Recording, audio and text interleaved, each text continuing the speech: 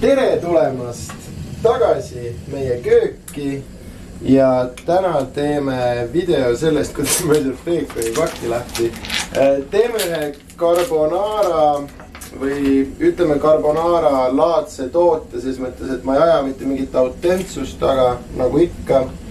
Ja paneme meie panni sooja, hakkame peekonit lõikama ja selle kõrvale ei, tegelikult siis näitame ära kõigepealt, millest meie toit koosneb.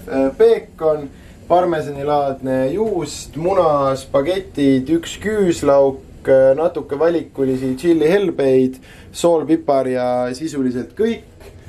siis on üks pann, eks ole, ja pott, kus vesi juba keeb, ootab oma aega. Ja kuna see on veits selline ajastamise toit, siis teeme täna sellise versiooni, kus teeme kõike hästi rahulikult nagu algajale kohane, et ei teki seda ohtu, et midagi ära põleb või mis iganes et ma võiksin selle pasta visata praegu juba vette, aga ma ei tee seda. teeme peekoni valmis, paneme tema kõrvale, teeme siis pasta, teeme nii-öelda lollikindlalt.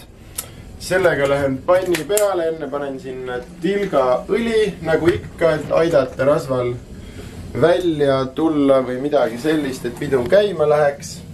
pann ei ole väga kuum, kust ma peekoniga alustan, nagu kombeks on, tahan temast rohkem rasva kätte saada ja siis ma hakkan seda siin liigutama ja otsin sellist mõnusat kuldpruuni, mitte liiga krõbedat, täpselt ideaalset ja ma teen jah peekoniga, sest ma ei viitsi.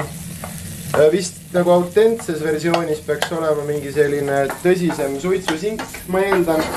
ma ei tea, aga teen peekoniga, tee mingi singiga, tee millega sulle meeldib see on, ma arvan, kõige tähtsam ja teen väikse pausi, sest mul said sõnad otsa ja ma ei tee mitte midagi põnevamat, kui segan seda peekonit, kuni ta hakkab peaaegu välja nägema ja lõikan oma küüslaugu ka ära, löön seda ühe korra noaga.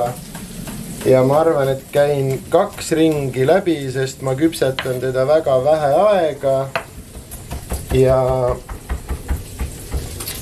kuna ma küpsetan teda vähe aega, siis ma ei taha väga suuri tükke pärast oma pasta sees. ja see peekon võtab mul kuskil kolm minutit veel, ma arvan, ehk siis teeme väikese pausi. ja ma ei tea, miks ma karjusin selle sõna, ühesõnaga jaa, ma peaks veits vett jooma ja rahunema, ma olen liiga elevil täna selle kaamera peal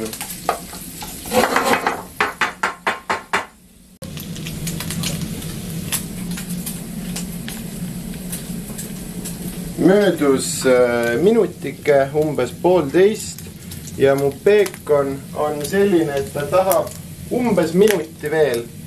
ja kui ta tahab umbes minuti veel, siis oleme tagasi mm. -hmm. nüüd meil vahepeal juhtus üks õnnetus, mis ma eks ma saan näha, kui palju kaamera peale jäi, aga peekon plahvatab tõepoolest ja kui ta sinna lendab, siis ta lausa põleb ära ja suitseb ja nii edasi. aga nüüd mu peekon on päris kena juba, valutad väga või? ei, ma ilmselgelt ehmatasin. pead lõpuks vastu? ei, liiga palju ehmatasin. siis paneme siia natuke tšillihelbeid, isegi tublid kaameramehe tööd olid näoga sees. aga ära ole peekoni praadimises näoga sees, sest peekon plahvatab, oli vist selle olukord. Need tšillihelbed on väga valikulised, mulle lihtsalt ma arvan, et need siin väga mõnusad saavad olema. ja nüüd tõstan selle kõrvale ja panen alles nüüd oma pasta vette, sest nagu ma ütlesin, teeme seda varianti, kus ei saa ajahätta jääda. ja isegi kui vahepeal plahvatab ja midagi juhtub, siis vaat kui hea, et ei jäänud ajahätta, onju. et ma üritan teha täna ühe inimese kogust, mida ma olen natuke raskuses ükse asjaga, aga ütleme, et ma üks inimene, summa suur poiss ka, nii palju teen küll ma panen need siia vette, ma keeran neile väikse spiraali peale, et nad umbes niimoodi kukuks, siis nad ei jää omavahel sõlme. tugevalt soolatud vesi ja ma võtan ühe mingi lusika ka, millega ma manipuleerin neid siia edasi sisse. Lähevad kohe pehmemaks ja lähevad kõik sinna sisse ära. Ja siis hakkame kohe siinpool kööki asju tegema. ma põletasin tegelikult ennast ka ära, aga ma nagu püüan vahver olla. meil on kuskil see asi ka tegelikult, mis aitab peekoni äh, põll. ei eks see siin põll, aga meil on tegelikult see rest, mille peal me saia jahutame, on konkreetselt selle jaoks mõeldud, et sa paned panni peale ja siis see ei pritsi sinu pihta. aga äh, see asi keeb seal mõned minutid, vaatame meie kastme osa, mul on siin kolm muna, milledest ühe ma panen siia täielikult ja ülejäänud kahest ma ei oska üldse muna lahti teha, vaata kui loll väike koeratükk mulle kätte jääb panen ainult nende kollase, sellest valgest teen midagi muud. aga ma tahan eriti mõnusat ja kreemist ja mis iganes kastet ja siis ma teen sellise versiooni. ja panen selle kolmanda muna kollase ka siia. Ja siis võtan oma parmesani laadse juustu, lõikan selle lahti. Nii, see keeb, meil on aega kõvasti, sa võid selle munajuustusegu ka varem valmis teha, aga nagu nii hulluks ei ole, aga vaja minna võib-olla, mul oleks ühte kahvlit vaja, võtan ühe puhta siit. Ma segan selle natukene läbi ja siis võtan oma parmesanilaadse juustu ja oma riivi ja teen siia, see ei ole võib-olla kõige parem ots selleks, aga noh, ta lõhub seda. ja mingi, ma ei tea, viiskümmend grammi, midagi siukest tahan siia sisse. ja see ei ole ilmselgelt selle jaoks mõeldud toode, aga ta lõhub seda, nii et saame hakkama. ja korraks võtan hetke, võtan oma pastalusika, nad on nüüd pehmemad. segan neid ühe korra veel ringi, et nemad kindlasti omavahel kokku ei jääks ja siis tulen tagasi siia, teen paar liigutust veel. ja juustu lendab igale poole, aga ma pärast, kui kaamera ei näita, panen selle siit laua pealt oma pasta peale, sest mul laud on pestud ja see on pohhui. nii. panen siia, ütleme sihuke viiskümmend grammi juustu selle sisse ja panen siia kaks pööret pipart ja ühe näputäie soola.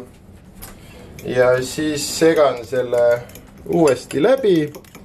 ja nüüd me jääme ootama sisuliselt seda, et meie pasta oleks valmis või noh, al dente nagu spetsialistid ütlevad, selline peaaegu valmis. ja okei okay,, paneme natuke juustu veel, aga põhimõtteliselt see juustu kogus, pane rohkem või vähem, see on sihuke miinimum, mis ma olen pannud, ma kraabin natuke veel ja paneme kaamera korra kinni ja tuleme tagasi umbes, ma ei tea, ma arvan nelja minuti pärast, kui see spagett seal äh, pehme on ja on aeg meie. Mis asi ta nüüd ongi, mul läks selle toote nimi juba ammu meelest ära, mida me praegu teeme, aga selle. Carbonara.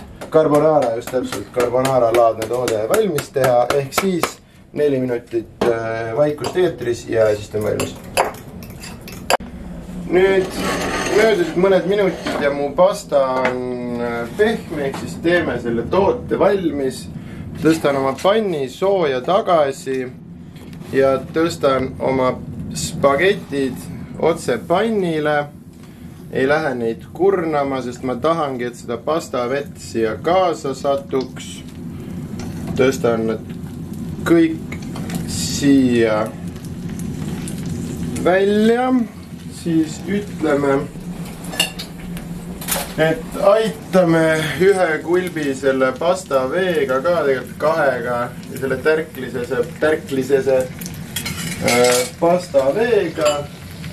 Ja siis võtan oma selle samusegi segu ja ühe relva ja valan oma juustu ja munasegu siia sisse. Ja tulen sisuliselt kuuma pealt maha ja segan selle siia sisse ja üritan mitte teha munaputru, vaid just selle vee ja pasta jääkkuumusega teha selline mõnus imeline kreemine asi siia ümber.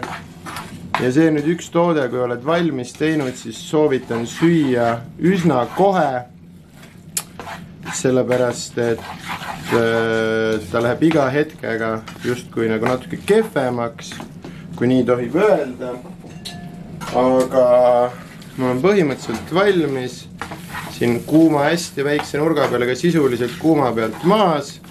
segan teda õige pisut ringi, et mul ei oleks siin toorest muna, vaid oleks ilus kreemine kaste.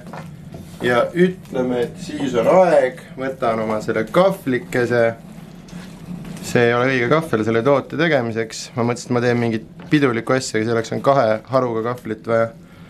Aga vaatame, kas me saame siit midagi kätte või ei saagi sellega ma ei saagi sellega, nüüd ma hakkan otse panni pealt sööma, suva vaikselt äh,. sest see asi on, ma mõtlesin jah, et nad selle lihakahvliga teevad, aga see vist kahehargilisega parem teha, aga igal juhul carbonara laadne toode.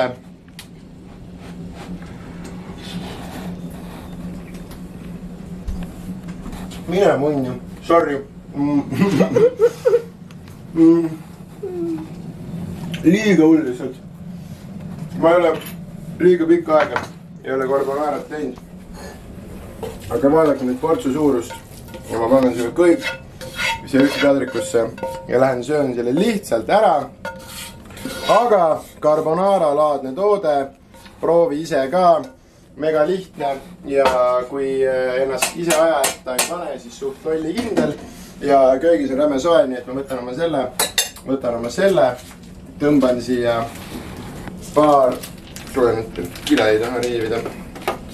paar suuremat viilu oma parmesanilaadset juurde ja lähen teise tuppa ja söön selle ära, sihuke toode, aitäh ja järgmine kord.